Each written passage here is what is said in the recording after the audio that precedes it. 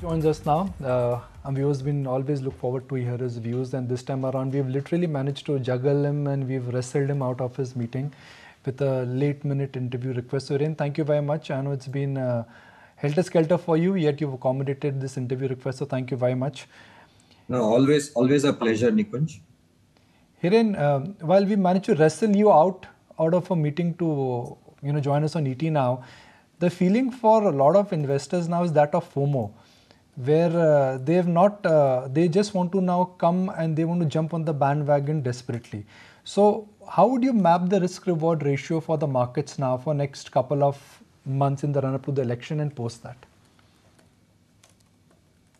So, I think Nikunj, uh, you know, uh, the thing is that we can see the FOMO effect in the IPOs, right? Because the kind of liquidity that is going into the IPOs tells you that there is so much of cash lying on the sidelines. And on the other hand, people who are quite apprehensive going into an event like the state elections. Uh, but I think, you know, it's still not late uh, to be part of what we all believe is a long term structural bull market. As you remember, Modi ji said that this is not an era of war. Just like that, this is not an era to be bearish on the Indian markets, right? This is an era to be bullish on India. So, my sense is that there is still an opportunity. Uh, you know, Uh, while the small and mid caps in general and the broader markets have done phenomenally well over the last six, nine months, I think the large caps in general have lagged. And so I think investors want to participate. It's time, in my view, that elephants will dance. So I think there is still an opportunity in the large caps not to say that there is no opportunity in the small to mid caps, but I think in a bull market, there's always sector and market cap rotation. So, uh, my sense is that, uh, you know, at least in the run up to the elections, you may now see uh, some of the larger cap stocks which have moved sideways should also start to participate uh, in this bull run. Rarely do we see that the discount between large cap and small cap is so stark. It's always the other way around. Large cap they move up and then small cap stocks they catch up. Right now the tail is wagging the dog. Now India's market cap to GDP is already 4 trillion. And historically when the market cap to GDP has gone above 1 that's always a red sign according to Warren Buffett uh, market cap to GDP indicator. So my question is that market have already run up and if large cap stocks now participated won't we reach then what could be called as froth or a bubble level? So, Nikunj, uh, uh, you know, this is obviously a broad indicator. But if you look at the US market, right, it has stayed above the market cap to GDP has stayed above 100. In fact, it is closer to uh, more like 130, 140% for a long, long period of time right? So there is nothing to say that uh, market should always be below, uh, you know, market cap to GDP should always be below 100. I think there will be times when uh, the opportunity and the visibility of growth in India relative to other markets is significantly better. So I don't see a reason why our market cap to GDP cannot consistently remain above 100%. I don't think we've reached those absolute bubble valuations. How can we talk about bubble valuations when until recently uh, your Nifty was uh, for a two and a half years was largely in a consolidation phase. We had similar Nifty levels in September, October 21. And up until the last few days of this year, the Nifty was hovering around 18,500, 18,600. It's only now that we've broken out into new highs, right? And at 18 times, 17 and a half, 18 times one year forward, I don't think we are excessively valued as a market. There can always be pockets of overvaluation, but I think overall as a market, I don't think we are overvalued. So let's pick up some themes where there could be a combination of value as well as growth. Uh, when we spoke to you about a year ago, you had identified EVs, you had identified manufacturing, you had identified to some large extent luxury consumption. Are those themes still intact? So, Nikunj, I think long term leadership in a bull market doesn't change, but it is quite possible that some of these sectors which have done so well may con- may go sideways or there might be a time correction. And maybe some of the sectors like financials which have lagged may now uh, do well in the near term right? So a definition of a bull market is that everybody participates. Somebody participates early and somebody participates late so my sense is that while the leadership in this market will continue to remain in capital goods, in manufacturing, in PSUs, but I think it is quite possible that uh, large banks and FMCG might also join the party for a while because in a bull market, everybody performs. Some higher, some relatively lower. So I think it's time, as I said, for the elephants to dance. And some of the sectors which haven't done well might continue to party, but that doesn't mean that the leadership changes. I think the leadership that has been there with manufacturing, with cap goods, with autos, uh, with defense, with PSUs will continue to remain. I don't see that changing.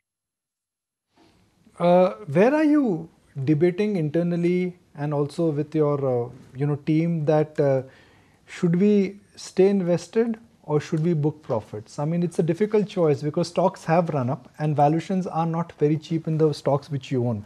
So, where are you debating this internally? Nikunj, there is no debate. I think we are very clear. We have to ride this bull market. Obviously, unless we believe that there are some stocks where the valuation is completely out of whack, or maybe because of risk management, if certain stocks have become a very large part of our portfolio, we may trim it. But I think the idea is not to sit on cash or to book profits. I don't think that's how you play. That's how you play a bull market, right? I mean, between 2002 3 to 2007 8, uh, one of the defining moments was that uh, if you never got off the horse, right?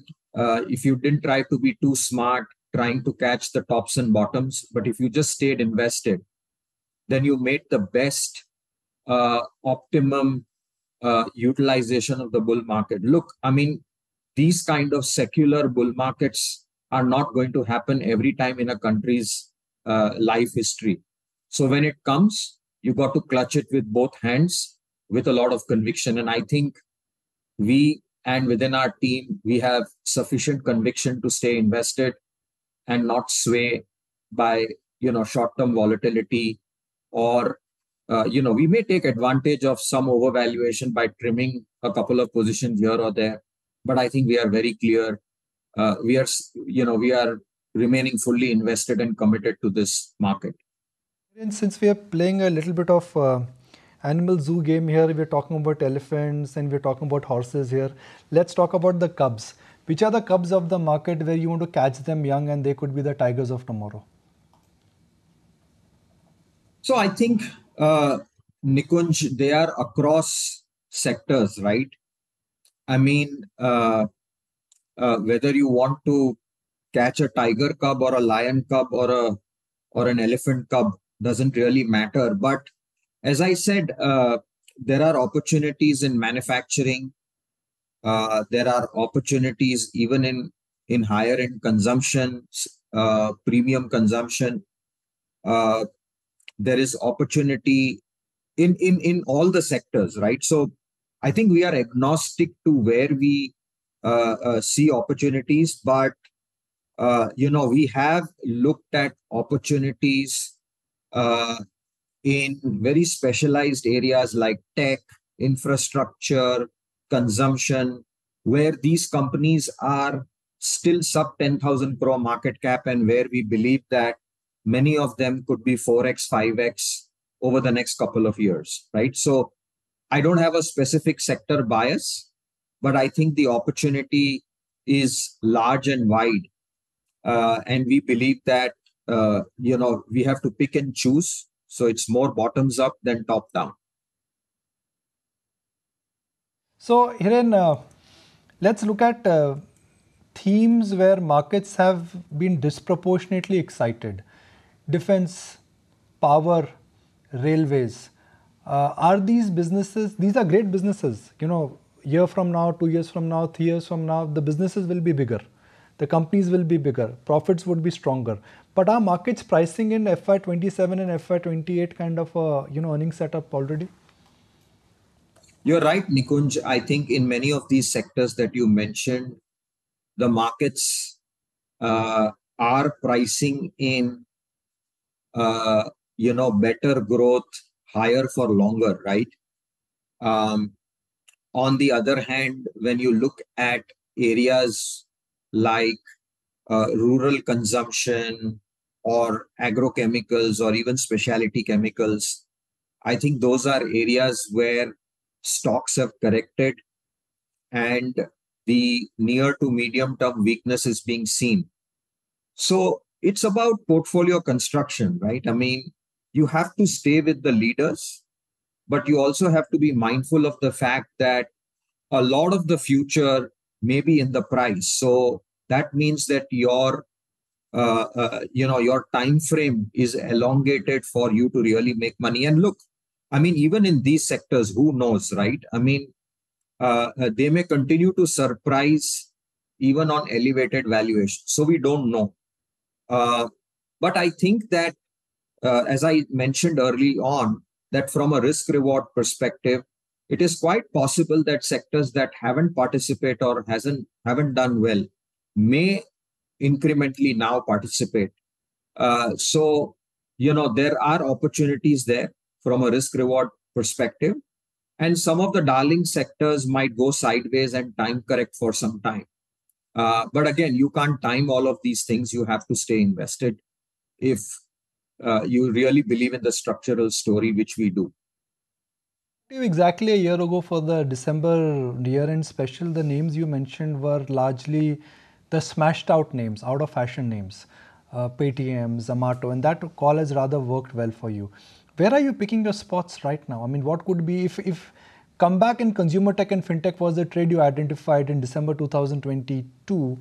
What would you like to identify for our viewers in December 2023?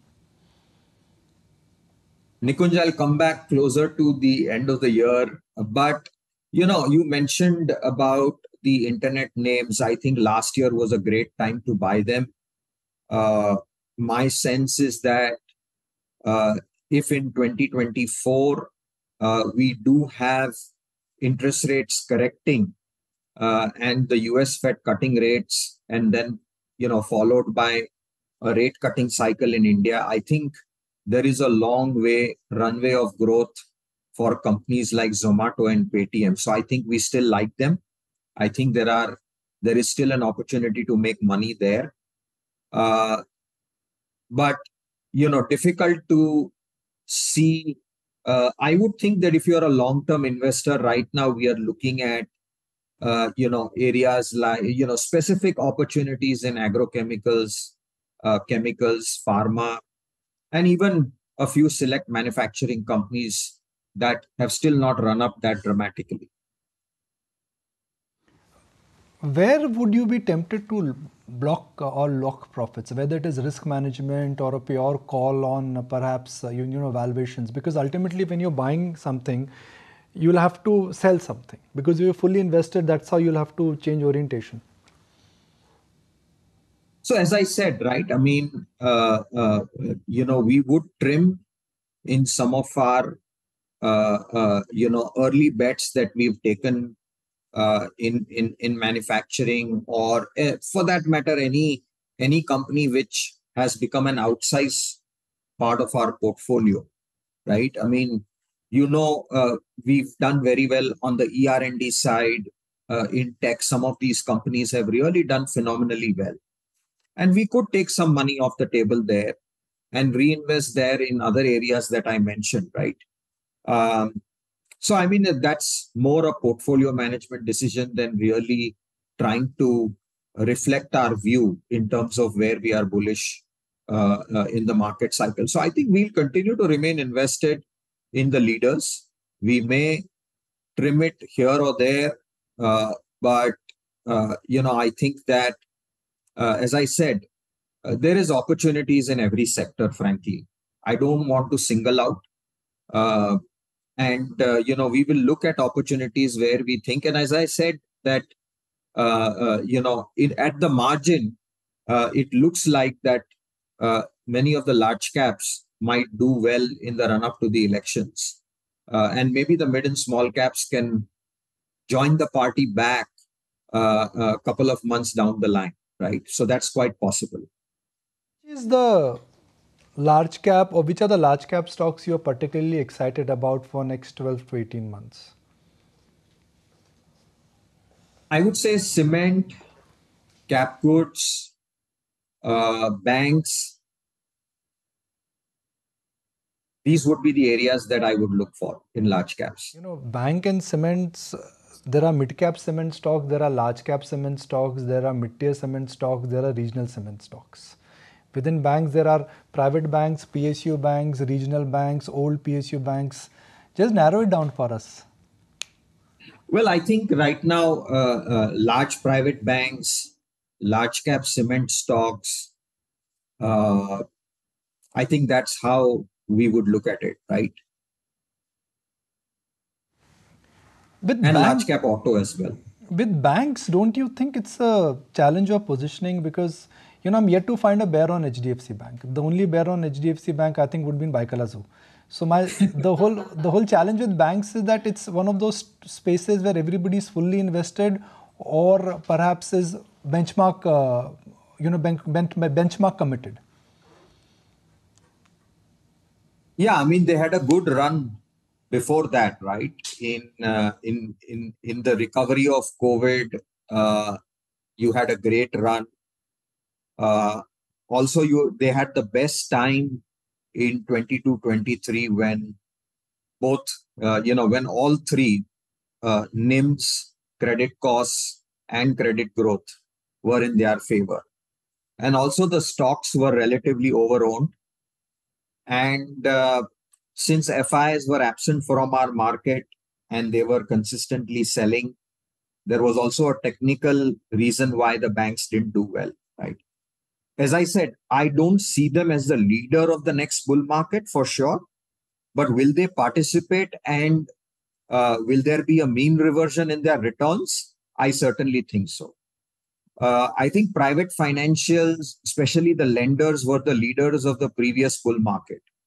I think this time within financials, the non lenders could be uh, part of the leadership uh, pack, right? So your exchanges, your uh, uh, you know online brokers, uh, your what you call market infrastructure players, asset management companies. I think those have a better chance of being leaders of the of the bull market. But I just feel that given the underperformance of the large banks, you know, you can't have a new bull market and Nifty hitting new highs and these guys not participating. So Hiren, uh, you're on air and we got live queries saying that okay, Hiren has already promised for a show for year end where he will be sharing ideas. Shall we block the date? It's 5th of December. when should we record that show? Uh, to the extent that you know compliance allows me, but yeah, I mean, uh, you know, happy to happy to come on air again with you, uh, Nikunj, closer to the end of the year some ideas and themes for 2024. Really appreciate your time. So glad you could join us. And thank you once again for accommodating this last minute interview request. Thanks. Thanks, Nikunj. Thanks for having me. Bye bye. Okay, let's move on and let's take stock of what's happening in the real economy.